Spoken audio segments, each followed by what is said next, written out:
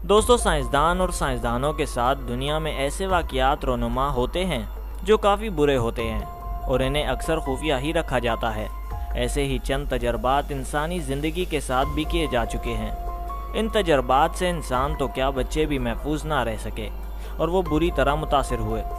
इन तजर्बात में से कुछ तो आलमी जंग से भी ज़्यादा ख़तरनाक समझे जाते हैं, क्योंकि जंग ने कभी ना कभी तो ख़त्म होना ही होता है। मगर इन तजर्बात से होने वाले नुकसान कभी भी ख़त्म नहीं होते। दोस्तों, आज की इस वीडियो में हम कुछ ऐसे ही तजर्बात का ज़िक्र करने वाले हैं, जिसका ताल्लुक इंसानी ज़िंदगी से है। दस साल कबल अमरीकी पुलिस ने शक की बिना पर एक लेबॉर्ट्री पर छापा मारा, जहाँ उन्हें एक लावारिस बच्चा मिला, जिसे देखकर अमरीकी पुलिस की आँखें खुली की खुली रह गई। इस बच्चे को हिरासत में लेकर पुलिस ने अपनी कानूनी कार्रवाई शुरू कर दी। जिससे इन्हें पता चला कि वो बच्चा किसी बायोलॉजिकल तजर्बे के लिए इस्तेमाल किया जा रहा था।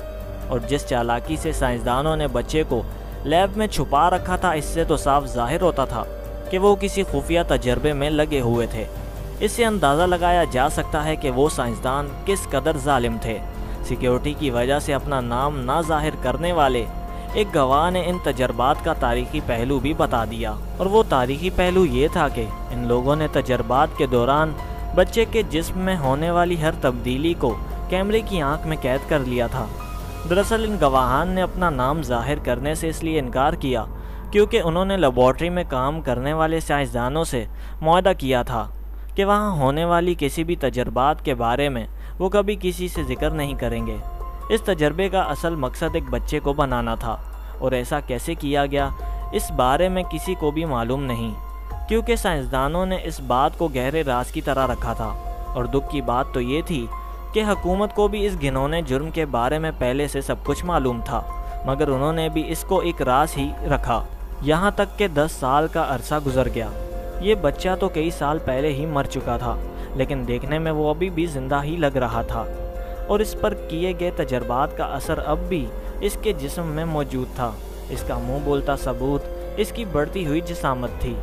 एक खुफिया टीम ने इस जुर्म को बेनकाब किया, जो पहले से ही जानती थी कि न जाने कितने बच्चे इस तरह के जानलेवा तजर्बात का निशाना बन चुके हैं।